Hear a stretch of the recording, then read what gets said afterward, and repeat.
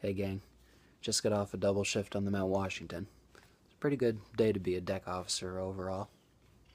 Again, any day's a good day to be out on the ship. Nice breeze helped break up the otherwise hot and humid day.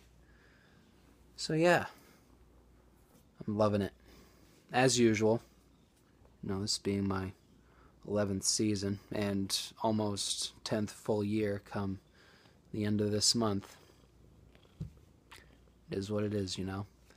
But hey, in terms of my other life, you know, the thespian world, gotta say, missing my New England Actors Workshop co thespians and friends and everyone else down in Massachusetts, Rhode Island that I've gotten to meet and know in recent months, last year or two.